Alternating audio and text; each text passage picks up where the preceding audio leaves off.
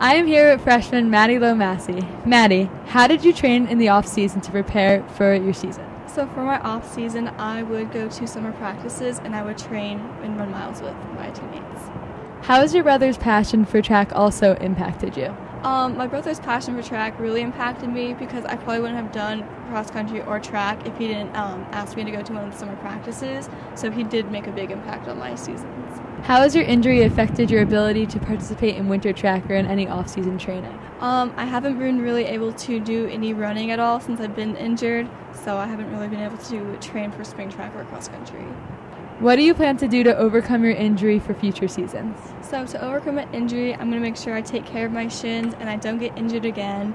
And for like right now, I'm making sure I'm trying to stay in as good a shape as I can for spring season. Thank you, Maddie Lowe-Masi, and I wish you the best of luck in your spring track season.